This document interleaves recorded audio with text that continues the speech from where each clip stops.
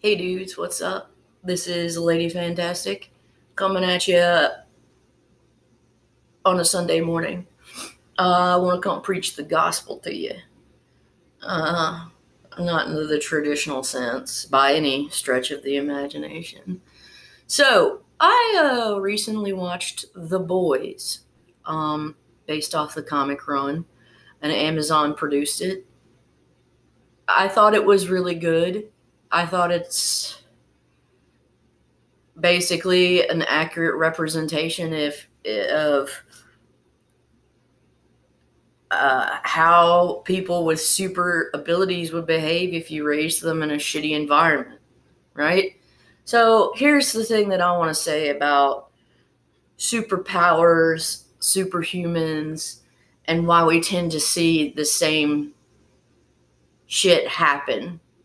Um, and and I mean, you take this even back to Greek mythology, Roman mythology. Um, you have these scenarios where you've got very human people, and you give them very human powers, and you watch the folly. Right? There's, it's always tragic. Um, but that's the thing is that, um, in the boys, they they have they have some very supernatural powers, but they're still human. They still have human minds. So it's like, what what are we as humans? Well, we're primates. What are primates? They're actually particularly violent mammals. We just happen to be self-aware of that. Okay? So in the situation like the boys, I guess I, you couldn't see any other.